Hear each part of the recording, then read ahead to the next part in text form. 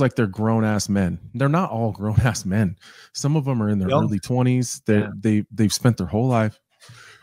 Whoa, Oh what's my going on? You, you look like you saw a ghost then, Anthony. Oh What my did you God. just see? What did you see? Holy fuck! That scared the fuck out of me. What? Huh. I thought I was about to. I thought I was gonna have to fucking get in a fight.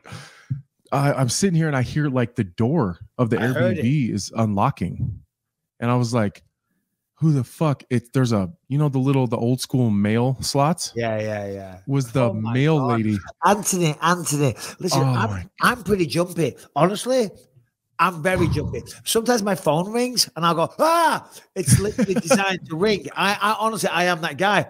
But I don't think I jump at a letter coming. No, it sounded like the door. I mean, you know how it is when you're at Airbnb, like in a new Guys. place, and we all just witnessed it. Anthony Smith, you have this tough exterior, but deep down, you might be a pussy. maybe. Well, I was like,